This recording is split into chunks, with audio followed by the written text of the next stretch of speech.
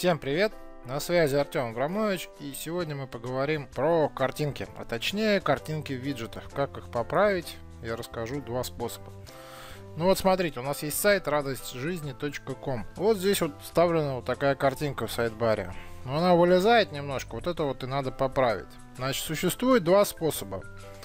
Э, физический способ исправить размер картинки и через HTML. Но перво-наперво нам вообще надо узнать, какой размер-то у нас имеет ширина сайдбара.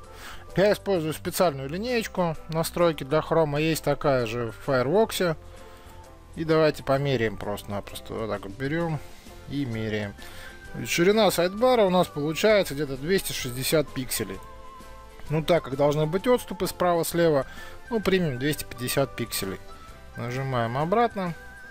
Теперь нам нужно узнать размер нашей картинки.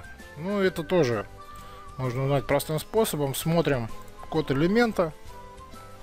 Вот наша картинка, да, вот я навожу.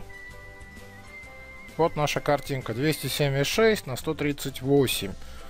Ну, то есть лишних у нас где-то получается 20, 26 пикселей.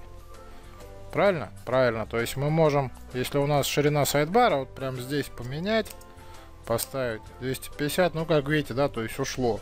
Ну 250 наверное много. Ну где-то 255 допустим. Ну да вот 255 пикселей. Но когда мы меняем таким образом у нас получается что меняются пропорции картинки. Чтобы это высчитать сделаем проще. Обновим и рассчитаем пропорции нашей картинки так, еще раз смотрим картинку. 276 на 138. Делим 276.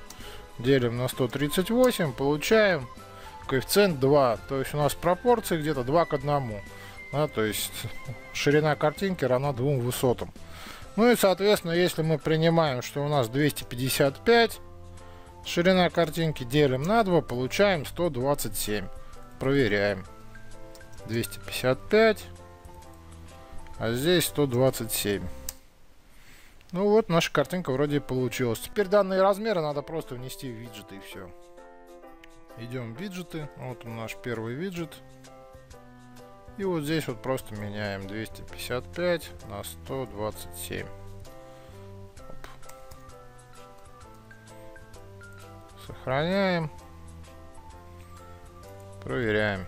Ну, как видите, да, то есть с картинкой все нормально. Конечно, не лучший способ.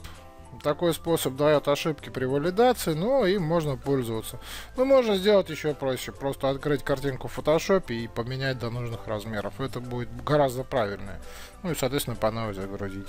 Вот такой вот, таких вот два способа. На этом я прощаюсь. Всем пока-пока.